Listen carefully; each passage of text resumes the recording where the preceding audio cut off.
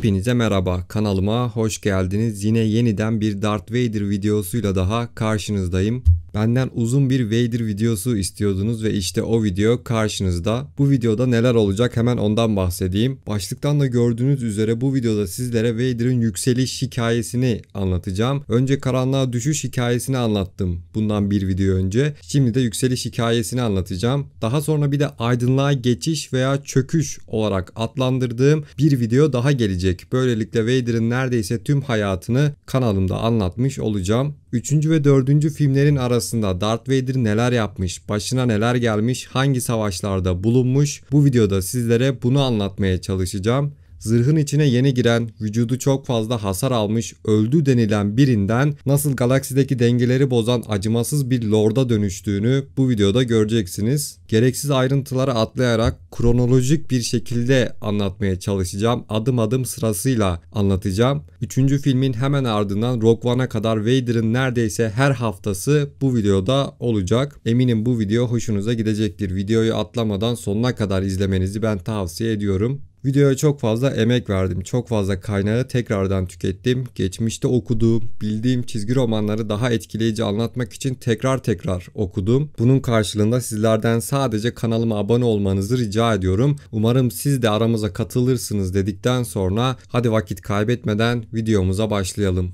Obi-Wan ile düellosundan sonra Vader hayatta kalmasına rağmen kalıcı olarak yaralanmıştı. Öyle ki tüm vücudu yanmış, bacaklarını ve sol kolunu kaybetmiş, iç organları ağır hasar almıştı. Yaşaması mucize olan Vader'ı efendisi Palpatine bularak onu bir ameliyata götürdü. Uzun ve acı dolu bir ameliyatın ardından Darth Vader yeni zırhıyla adeta yeniden doğdu. Yapılan bu zırh Vader'ın bir parçası olacaktı. Ölene kadar zırhına bağlı bir şekilde yaşayacaktı ve bu andan itibaren artık hiçbir şey aynı olmayacaktı. Galakside dengeler bozulacak ve herkes onun yükselişine tanık olacaktı. Darth Vader ilk zamanlarında zihinsel ve fiziksel olarak yoğun acı çekmişti. Hayatını adadığı eşi Padme'yi ve doğmamış çocuklarını kaybetme acısı onun travmasıydı. Boba Fett ona Luke'un babası olduğunu söyleyene kadar elbette Luke'u da öldü sanıyordu. Vader'ın yeni ağır zırhı onu kısıtlıyor klostrofobik ve acı dolu yapısıyla onun öfkesini arttırıyordu. Vader ilk başta zırhına yabancılık çekse de ilerleyen zamanlarda zırhına alışacak ve karşısına çıkanları ezecekti.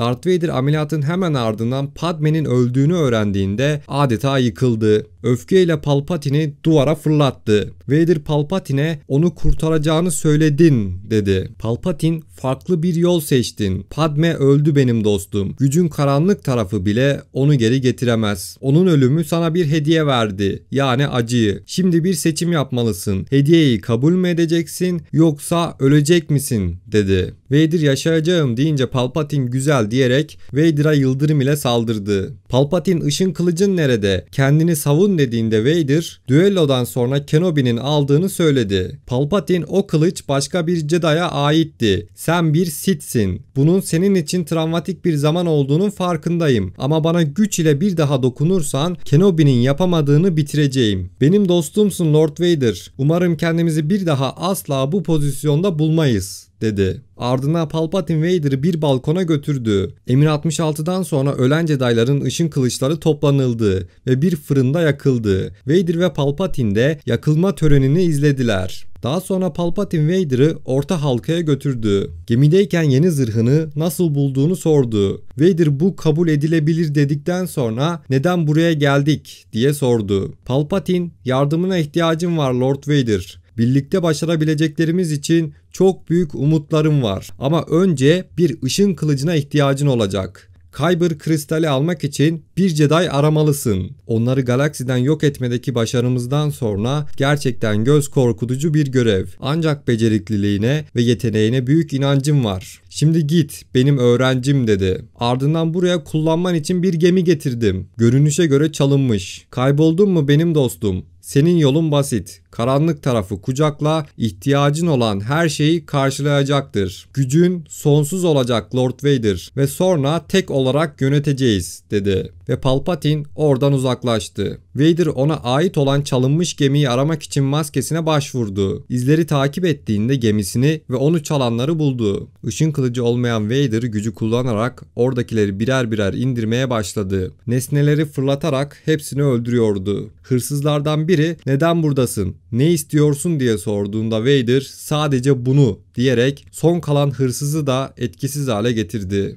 Vader gemiyi aldıktan sonra orta halkıda bulunan Jedi uzay istasyonuna doğru gitti. Burası imparatorluk tarafından arındırılmış olduğundan içeride klon askerleri vardı. Vader istasyona yaklaştığında dört gemi ona doğru geldi. Vader'ın kısıtlı alana girdiğini söyleyen klon devam etmesi halinde üzerine ateş açılacağını söyledi. Vader'ın yanındaki droid izninizle yetki kodunuzu iletebilir ve bu durumu derhal sonlandırabilirim dedi. Vader hayır silah sistemlerini aktifleştir dedi. Bunun ardından Vader gemilere saldırdı. Vader hasar almadan 4 gemiyi etkisiz hale getirdi. Ardından istasyonun içine girdi. Klonlar ateş etmek için hazırlandı. Vader ameliyattan hemen sonra buraya geldiğinden klonlar Vader'ın kim olduğunu bilmiyordu. Vader kapıyı kırarak içeriye girdi. Klonların ateş etmesiyle birlikte Vader gücü kullandı ve hepsini birer birer indiriyordu. Burası eski bir Jedi karakolu olduğu için Vader orada bir ışın kılıcı buldu ve güç ile aldı. Işın kılıcını açınca klonlardan biri bu kesinlikle bir Jedi dedi.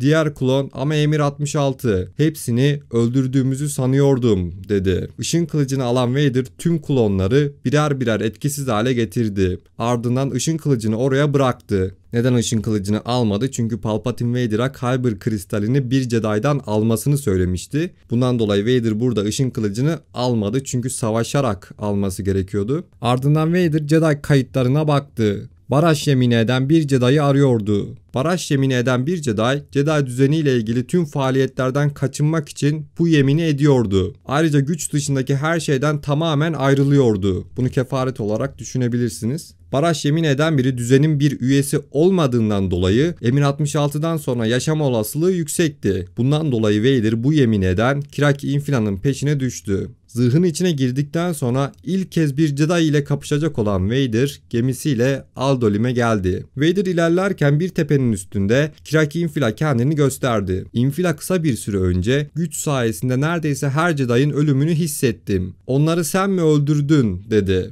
Vader evet dedi. Infila beni de öldürmek için mi buradasın diye sordu. Vader tekrar evet dediğinde Infila umduğum gibi dedi. Infila ışın kılıcını açarak baraj yeminimin tamamlandığını ilan ediyorum. Erkek ve kız kardeşlerim öldü ve katilleri karşımda duruyor. Bu dağa Pasval deniliyor. Buraya gelen tüm Jedi'ları test etmek için tasarlanmış kutsal bir yer. Ne kadar yükseğe çıkarsan challenge'lar o kadar zorlu hale gelir. En yüksek yerde bekleyeceğim gel beni ara dedi. Ardından Infila yanındaki droide kapakları açmasını söyledi. Bununla beraber sular Vader'a doğru geliyordu. Vader sular altında bir süre kaldıktan sonra gücü kullanarak suyu kendinden uzaklaştırdı ve taş bir köprüye çıktı. Köprüde ilerlerken yırtıcı kuşlar Vader'a saldırdı. Vader kuşları etkisiz hale getirdikten sonra Infila ile karşı karşıya geldi. Gücü kullanarak Infila'ya taşlar fırlattı. Vader yukarıya çıktığında eğitim droidi ona saldırdı.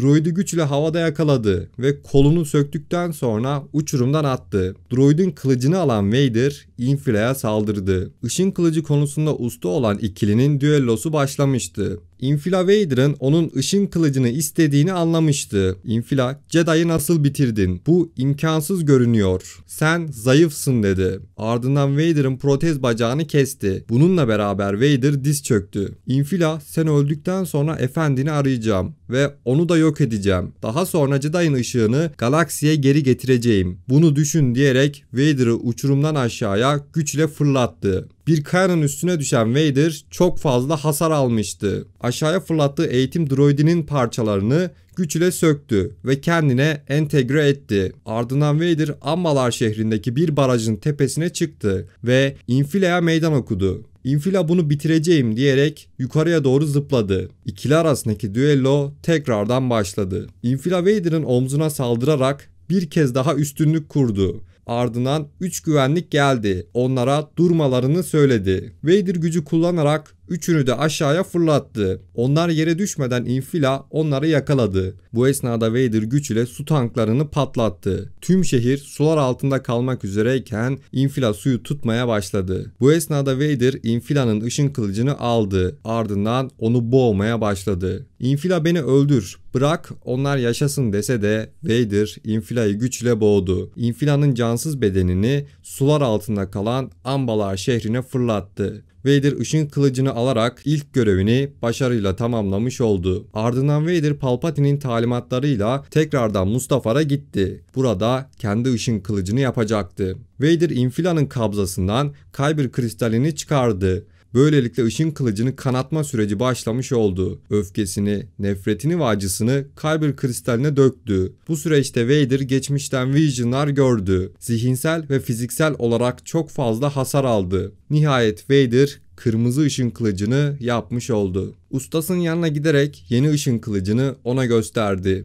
Bunun ardından Darth Vader Jedi arşivlerinde baş Engizisyoncuyla karşılaştı. Engizisyoncuyu henüz tanımayan Vader ona saldırdı. İkili bir süre kapıştıktan sonra Vader baş Engizisyoncuyu kolay bir şekilde yendi. Tam onu öldürecekken Palpatine geldi ve durmasını söyledi. Palpatine baş Engizisyoncuyu Vader ile tanıştırdı. Ardından Palpatine Vader'ı diğer Engizisyonculara götürdü. Bir zamanlar Jedi olan bu Engizisyoncular artık imparatorluğa hizmet ediyordu. Palpatine'in projesi olan bu Engizisyoncuların tek görevi sağ kalan Jedi'ları öldürmekti. Palpatine Vader'ı Engizisyoncuları eğitmek için görevlendirdi. Eğitime başlayan Vader 6. kardeşin kolunu kesti. Bunun ardından baş Engizisyoncu geldi. Lord Vader protesto etmeliyim. 6. kardeşin kolunu kesmek ona ne öğretecek dedi. Vader kaybı. Bunu asla unutmayacak. Hiçbiri unutmayacak. İmparator Emir 66'dan kaçan herhangi bir Jedi'yi öldürmek için Engizisyon programını yarattı. Senin adamların hazır değil. Sana talimat vereceğim. Derslerimi diğerlerine getireceksin. İlerleyemeyen Engizisyoncular elenecek dedi. Ardından Vader Emir 66'dan sağ kalmayı başaran Jedi'ların listesine baktı. Bu liste Palpatine tarafından verilmişti. Buradaki Jedi'lar öncelikliydi.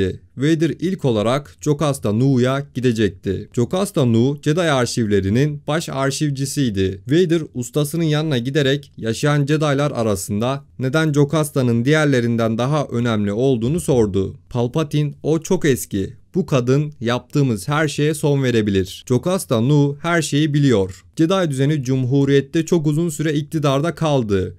Bu gücü kötüye kullandılar. Tüm galaksideki gücün ilgisini çeken her yerde hak iddia ettiler. Tapınaklar, enerji kuyuları, antik tapınaklar. Onları aldılar. Haklı olduklarına inandılar, kendilerine ait olduklarına inanıyorlardı. Jedi bu yerleri yağmaladı. Onlardan değerli olan her şeyi aldı ve eşyaları buraya Coruscant'a getirdi. Ve sonra onları korumaları için Jocasta Nu'ya verdiler. Jocasta hepsini biliyor. O bir cadıdan biraz daha iyi dedi. Vader anladım ölümüne şahsi olarak bakacağım dedi. Palpatine, Jedi Tapınağı arşivleri büyük bir hazineyi gizliyor. İmparatorluğun geleceğinin anahtarı. Jocasta Nu onun koruyucusuydu ve onu iyi gizledi. Bu hazineye ihtiyacım var. Jocasta'yı bulacaksın, onu bana getireceksin ve bana bilmek istediklerimi söyleyecek dedi. Bu esnada Jocasta'nı güce hassas çocukların listesini içeren bir kristali almak için Coruscant Jedi Tapınağı'na tekrardan geldi. Jocasta'nın droidi B2, Jocasta'dan gelen talimat ile hangarda gemilerini patlattı. Jocasta varlığına dair kanıtları yok etmek için bu gemiyi patlatmıştı. Bunun ardından ekipler oraya geldi.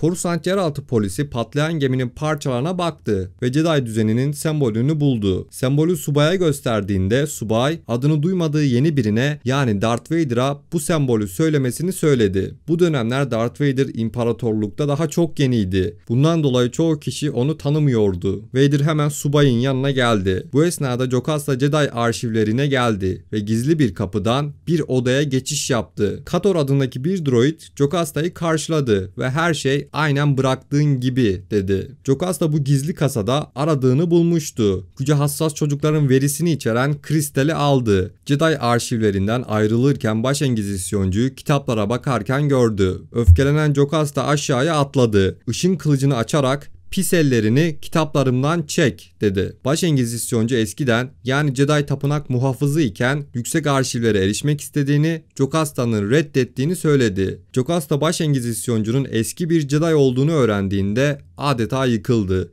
ve ikili arasındaki düello başladı. İkili arasındaki düello bir süre devam etti. Ardından Engizisyoncu rakibine karşı üstünlük kurdu ve rakibini ışın kılıçsız bıraktı. Savunmasız rakibinin işini tam bitirecekken Vader engel oldu. Baş Engizisyoncu Vader'ın neden bunu yaptığını anlamadı ışın kılıcını kapatmasını söyledi. Bu esnada Jocasta Nu yukarıya doğru kaçmaya başladı. Kaçarken sanal kitaplar fırlattı. Engizisyoncu yerde kaldı. Vader Jocasta'nın peşinden gitti. Ona zarar vermeyeceğini söyledi. Jocasta arşivlerin sırlarına erişmek için onu canlı istediğini biliyordu. Bir bilgisayar yardımıyla arşivdeki sanal kitaplarda depolanan tüm verileri sildi. Jocasta hazinen gitti sit. Geriye kalan tek şey benim dedi. Darth Vader Jocasta'nın az önce gittiği gizli kasayı buldu. Kador adındaki droid Vader'a Usta Skywalker bu kasadaki varlığınıza izin verilmiyor dediğinde Vader ışın kılıcını droide fırlattı. Droid ışın kılıcını havada yakaladı. Jedi tapınağının en hassas bölgelerinden birinin koruyucusu olduğunu ve her türlü tehdide karşı savunmak için yapıldığını söyledi. Ardından Vader yumruklarıyla droidi etkisiz hale getirdi. Jocastano uzaktan Skywalker'ı duyunca adeta şok oldu ve hemen bir kasaya doğru gitti. Kasanın içerisinden ışın kılıcı tüfeğini buldu. Işın kılıcını tüfeğin üst kısmına yerleştirdi ve Vader'a doğru ateş etti. Vader ışın kılıcıyla savunmaya çalışsa da enerji ışını onu yere düşürdü. Ardından Vader tekrardan Jocasta'nın karşısına çıktı ve onu öldürmeyeceğini bir kez daha söyledi. Jocasta'nı birkaç kez daha ateş etti. Vader hepsini savuşturdu. Bir kez daha ateş etmek istese de ışın kılıcı aşırı ısınmıştı. Jocasta tüfeği Vader'a doğru attığında Vader tüfeği kitaplığa doğru saptırdı. Bunun sonucuna büyük bir patlama gerçekleşti ve duvarda büyük bir delik oluştu. Jocasta'nı güçle bir ışın kılıcı alarak dışarıya doğru baktı. Jedi tapınağının etrafını saran klonlar Jocasta'yı görünce ateş etmeye başladı. Jocasta aşağıya atlayarak birkaç klonu etkisiz hale getirdi.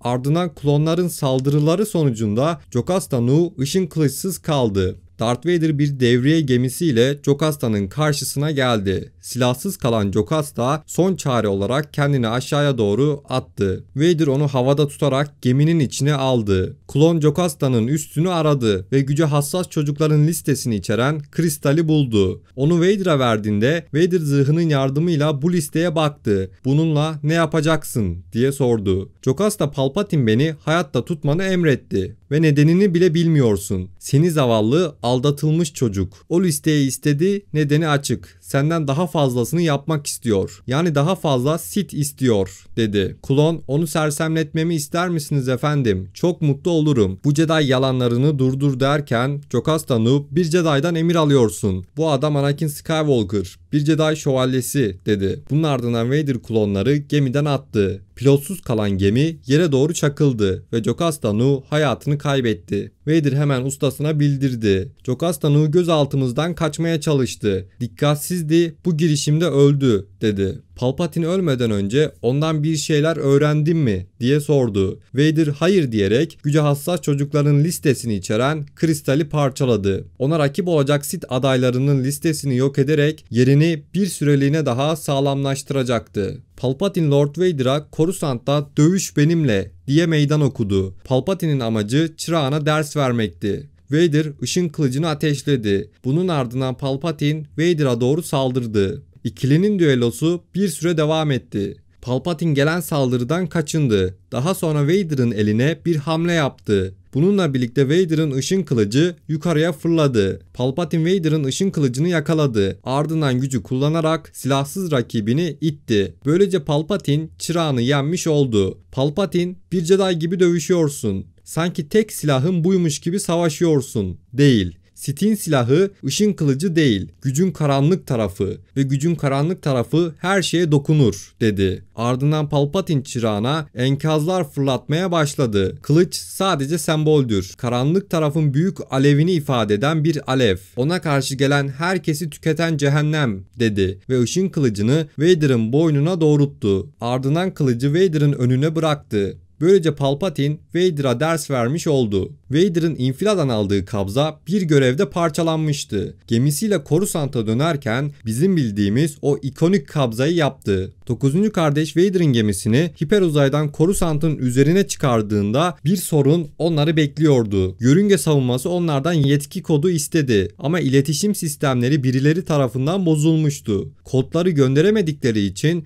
Coruscant güvenliği onlara füzeler yolladı. Vader füzeleri saptırmayı başarsa da geminin sağ kısmı hasar aldığından yere doğru çakıldı. Vader daha yeni ortaya çıktığından ve birkaç subayı öldürdüğünden dolayı çok fazla dikkat çekmişti. Çoğu kişi Vader'ı tam olarak tanımıyordu. Onun bir nevi koruma olduğu düşünülüyordu. İmparatorluk subayları arasında Vader'a karşı nefret ve kıskançlıklar vardı. Nitekim Vader'a yönelik bu suikast girişimi imparatorluğun en yüksek seviyelerinden gelmişti. Bunu öğrenen Vader Palpatine'in yanına gitti. Bunlar yaşanıyor çünkü anlamıyorlar. Kuvvetim olduğunu biliyorlar, senin gücüne sahip olduğumu bilmiyorlar diyerek Vader Palpatine'den ona suikast düzenleyenleri infaz etmek için izin istedi. Bir süre sonra imparator Vader'ın durumunu açıklığa kavuşturmak için imparatorluk ordusunun seçkin subaylarını bir araya getirdi. Ardından Palpatine siz imparatorluk ordumun seçkin subaylarısınız. Bu galaksiyi herkes için barış, istikrar ve refah yerine dönüştürme çabalarımızın çekirdeğini oluşturacaksınız. Yine de ortak vizyonumuzun yeni kaldığını ve belki de hiyerarşinin bazı unsurlarının belirsiz kaldığını anlıyorum. Herhangi bir karışıklığı ortadan kaldırmanın zamanı geldi. Bu Lord Vader. O benim sesimle konuşuyor. Ondan gelen bir emir, benden gelen bir emir gibidir. Bu bilgiyi adamlarınıza aktarın. Herkes bunu anlamalı dedi. Ardından konuşma sırası Vader'a geldi. Rastgele 5 subayın ismini söyleyerek öne çıkmasını söyledi. Vader kendisine iki kez saldırı gerçekleştiğini söyledikten sonra şunları ekledi kanıtlar imparatorluk subay birlikleri içinde bir komplo olduğunu gösteriyor. Şüphelerim olmasına rağmen bu girişimlerin arkasındaki kesin kişileri henüz bilmiyorum. Önemli değil. Ben her zaman yaşayacağım. Ama rastgele seçilen bu 5 kişi yaşamayacak diyerek karşısındaki 5 subayı güç ile boğdu. Böylelikle tüm imparatorluk Vader'ın öfkesine ve acımasızlığına şahit oldu. İmparatorluktaki herkes artık Lord Vader'ı tanıyor ve ondan korkuyordu. Bir süre sonra imparatorluk Moncala ile bir görüşme gerçekleştirdi. İmparatorluk Moncala'nın kaynaklarını ve kontrolünü ele geçirmek istedi. Kral Li Char'ın kesin bir şekilde reddetmesiyle beraber savaş başlamış oldu. Lord Vader ve Engizisyoncular ilk savaşında Kral Li Char'a tavsiye veren bir Jedi'yi öldürmek için görevlendirildi. Bu Jedi'nin adı Ferimbar'dı. Emir 66'dan sağ kalmayı başaran Ferimbar'ın birkaç tane de öğrencisi vardı. Ayrıca Ferimbar Darth Vader'ın gerçek kimliğini yani Anakin Skywalker'ı biliyordu. Tapınağa baskın yaptığı görüntüleri izlemiş, öğrencilerine de göstermişti. Bu savaşın başında Tarkin vardı. Kendisi uzaktan savaşı yönetiyordu. Vader ve Engizisyoncular birçok Monkala askerini öldürdü. Ardından Kral Lichar'ın yanına gittiler. Bunun ardından Monkala Kralı Lichar kendilerine avantaj kazandıracak planı devreye soktu. Lichar halkını başarılı bir şekilde su altına tahliye ettikten sonra yüzeydeki şehirleri dev su yaratıkları ile adeta harabeye çevirdi. Lichar planını devreye sokarken 9. kardeş ondan Ferimbar'ın nerede saklandığını öğrendi. Vader ve adamları su altında yaşamayı başarmıştı. İmparatorluğun işi zorlaşmıştı. Yüzeyde Moncala'dan kimse yoktu. Vader ve Engizisyoncular Ferimbar'ı buldu ve onun öğrencilerini tek tek öldürdüler. Geriye sadece Verla adındaki öğrenci ve Ferimbar kalmıştı. Vader ve adamları onların da işini bitirmek için peşlerine düştü. Bu esnada Tarkin Vader'dan Kral Lichar'ı yakalamasını istedi. Bunun üzerine Vader ve Engizisyoncular bölündü. Vader kralın peşindeyken Engizisyoncular Ferimbar'a doğru gidiyordu. Engizisyoncular ve klonlar Ferimbar'ı bulmuştu. Ferimbar Emir 66'yı bildiğinden çok zekice bir taktik uyguladı. Engizisyoncular eski Jedi olduğundan klonlara Emir 66'yı uygulamalarını emretti. Bunun üzerine klonlar Engizisyonculara ateş açtı. 10. kardeş burada hayatını kaybetti. Verla ve Ferimbar kaçmayı başardı. Ferimbar Verla'ya gitmesini söyledi. Kendisi kralı kurtarmak için Vader'ın yanına gelecekti. Vader kralı ele geçirdiğinde Tarkin sualtı şehirlerini bombalama emri verdi. Pencereden bunu izleyen Kral Lichar dehşete düştü. Bu esnada Ferimbar kralı kurtarmak için gelse de Vader bir süre kapıştıktan sonra rakibinin işini bitirdi. İmparatorluk gezegene muazzam hasar vermişti. Bunun üzerine Kral Lichar teslim olmayı kabul etti. Bu arada One'dan da tanıdığımız Amiral Redus ve onun filosu gezegenden kaçmayı başardı. Bu savaş imparatorluğun ezici üstünlüğüyle sonuçlandı. Gezegenin kontrolü imparatorluğa geçti.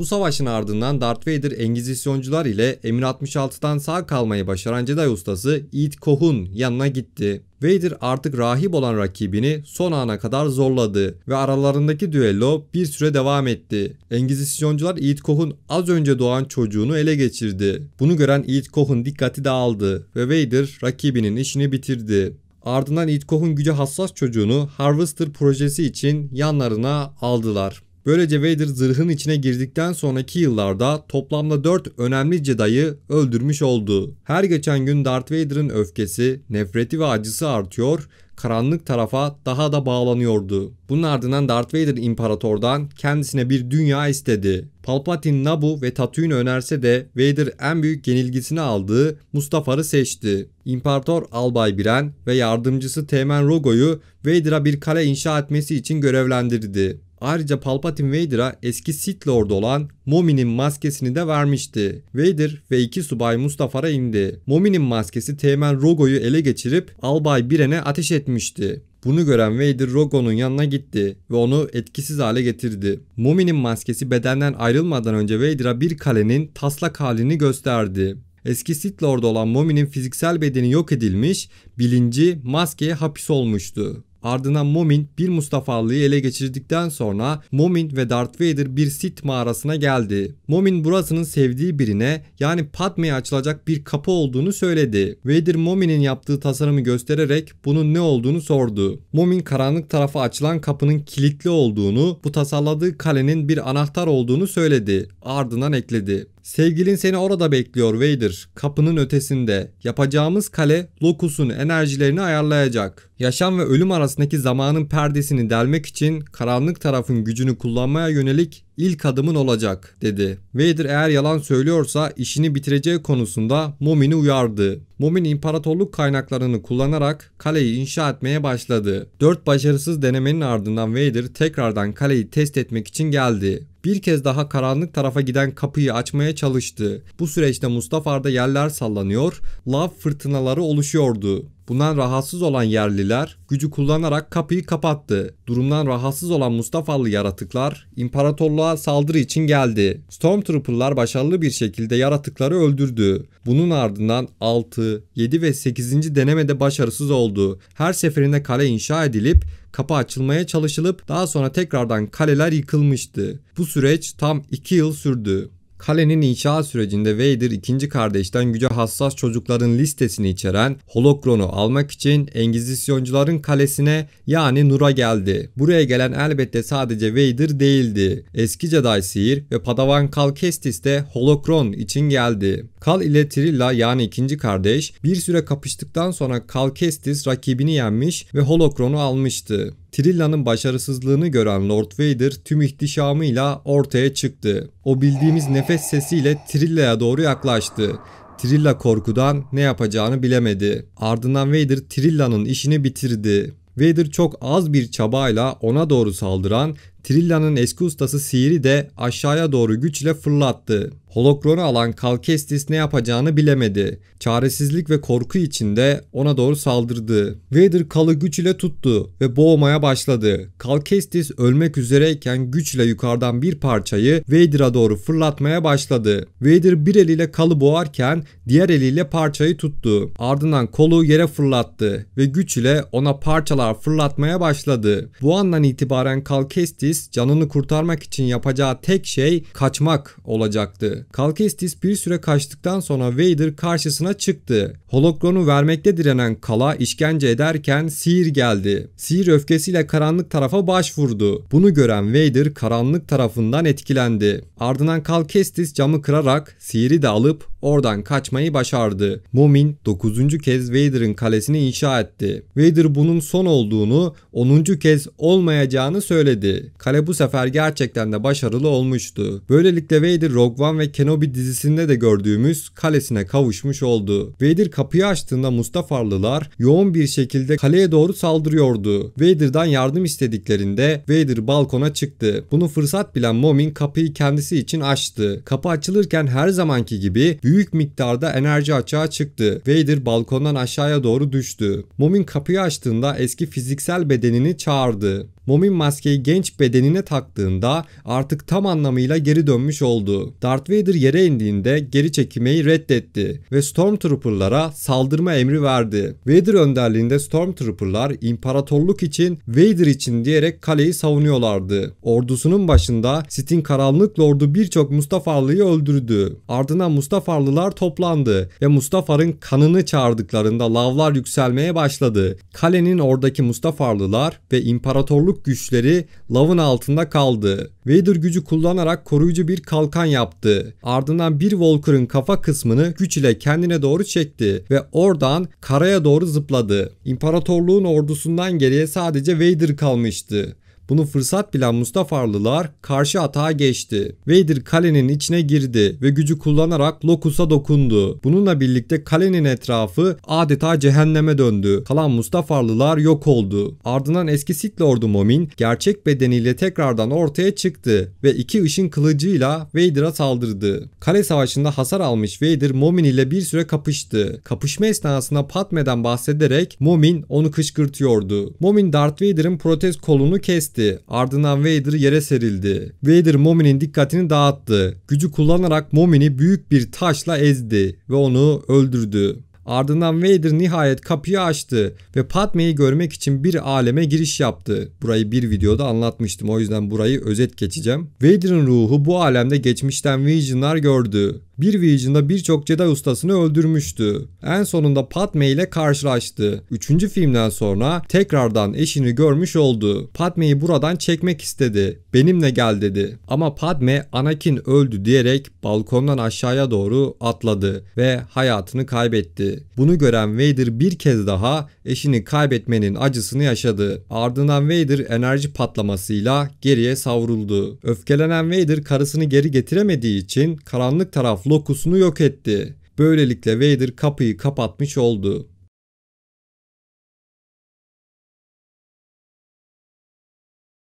Şimdi direkt Rebels'e geçelim. Ezra ve ekibi Lotal'den kaçmaya çalışırken Darth Vader ve Stormtrooper'lar onları buldu. Diğerleri gemiye binmeye çalışırken Ezra ve Kenan Vader'a karşı direnmeye çalıştı. Vader ona kıyasla deneyimsiz olan rakiplerine karşı üstünlük kurdu ve onlarla adeta dalga geçti. Ezra'yı öldürmek üzereyken Kenan son anda çırağını kurtardı. Kenan ve Ezra tekrar tekrar saldırsa da Vader her seferinde onları yendi. Sabin ve Zeb ATDP'lere patlayıcılar fırlattı. Bunu fırsat bilen Ezra ve Kanan Vader'ı güç ile oraya doğru itti. ATDP'ler Vader'ın üstüne düştü. Öldü sansalar da Vader gücü kullanarak ATDP'leri kaldırarak arkaya fırlattı. Ardından Ezragil gemiye binerek kaçmayı başardı. Lando Calrissian'ın yardımlarıyla Ezragil Lotal'i terk edip asi filosuna geri döndü. Ezragil'in gemisinde izleme cihazı vardı. Bundan dolayı imparatorluk asi filosunu buldu. Galaksinin en iyi pilotlarından biri olan Vader TIE Advanced ile tek başına bir filoya kafa tuttu. Vader birçok gemiyi tek başına yok etti.